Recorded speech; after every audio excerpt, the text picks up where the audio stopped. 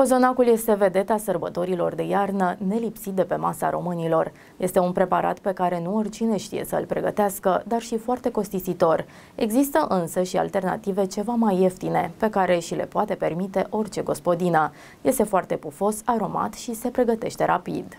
Cozonacul este unul dintre cele mai iubite preparate prezente pe masa românilor la fiecare eveniment important. Nelipsi va fi și de Crăciun și Revelion, alături de alte prăjituri la fel de gustoase ce vor bucura toți invitații. Dacă vrei să faci chiar tu acasă cozonacul, dar fără să cheltui prea mulți bani, află că există și o rețetă ieftină la îndemâna oricui. Se pregătește foarte repede, este ușor de făcut și la final vei observa că seamănă la fel ca cel preparat după rețeta clasică. Cozonacul moldovenesc este unul dintre cele mai scumpe, având nevoie de aproximativ 20 de ouă pentru o porție zdravănă, dar află că există și rețete ceva mai simple. Ai nevoie de doar câteva albușuri și ingrediente la îndemâna oricui. 500 de grame făină, 2 gălbenușuri, 100 de grame de zahăr, 250 de ml de lapte, coajă de la o lămâie, vanilie, 30 de grame de drojdie proaspătă, 100 grame ulei, un praf de sare, 50 de grame stafide, 100 de grame de rahat. Se adaugă 3 pe 4 din cantitatea de lapte și se amestecă bine. Gălbenușurile se amestecă acum cu zahărul și se bat până când tot zahărul se topește. Se poate adăuga puțin lapte căldus pentru a accelera procesul de dizolvare, apoi se obține o cremă fină. Se adaugă gălbenușurile peste aluat împreună cu vanilia și coaja de lămâie sau portocală. Se frământă câteva minute, iar laptele se adaugă treptat până când aluatul are consistența dorită. Începe procesul de frământare unde mâinile se ung cu ulei sau unt și se continuă până când tot uleiul este absorbit de aluat. Se acoperă cu folie de plastic și se lasă la dospit într-un loc cald până când volumul se dublează durează, ceea ce poate dura între o oră și trei ore. Aluatul poate fi împărțit în două sau trei bucăți și se poate face un rulou simplu sau un cozonac împletit. Se presară stafide și bucăți de rahat pe fiecare bucată întinsă pe masă, apoi se rulează și se împletesc bucățile. Cozonacul se așează într-o tavă tapetată cu hârtie de cop și se lasă la dospit într-un loc cald, acest proces durând minim 40 de minute, relatează playtech.ro.